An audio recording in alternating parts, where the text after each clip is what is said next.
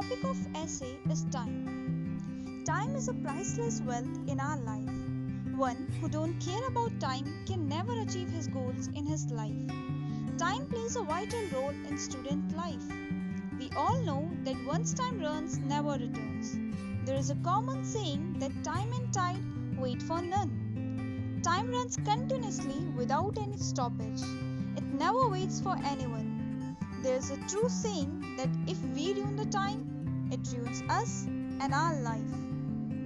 We should understand the value of time and go ahead with it because time never stays for anyone special. Loss of time is considered as the worst thing on this earth because wasting time wastes us and our future.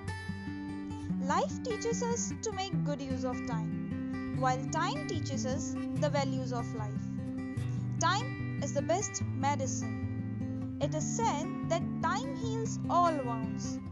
There is a proverb which says that killing time is not a murder, it's a suicide.